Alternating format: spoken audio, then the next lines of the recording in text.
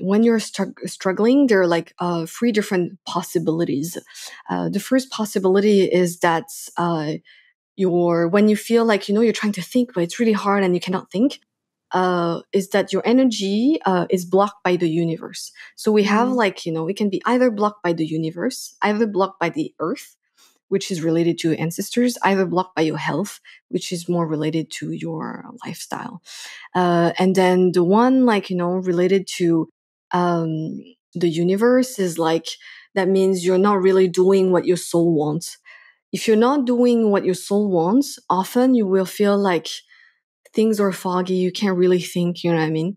Uh, and the, the energy is blocked by the universe. We're going to say that. Uh, and then after we consider, and I think, I think it was related a lot to Chinese culture. Uh, ancient Chinese culture is the place of your ancestors.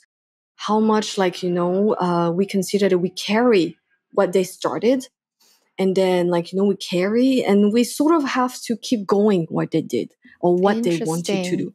Yeah, okay. and that's related to the earth. So it's like a sort of contract with the universe, with your soul, and a contract with uh, your ancestors, the earth, because you're made of like, you know, flesh and like, you know, all of that.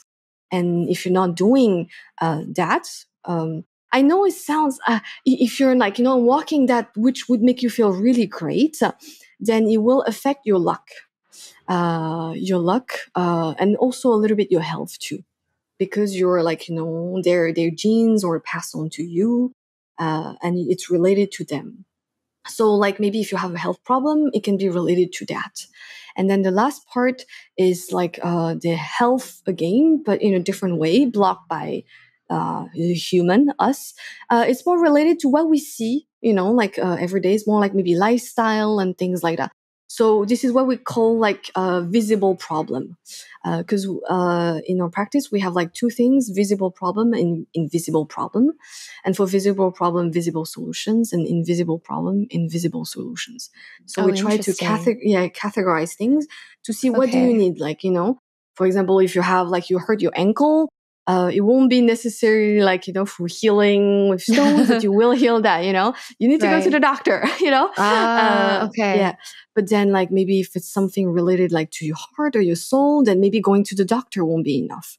And right. then you will need like tools like you know? And i think just that concept very simple yeah. idea will like make you feel like oh then what is my problem right now? Right is it visible or invisible? And then knowing that will help you to figure things out much faster.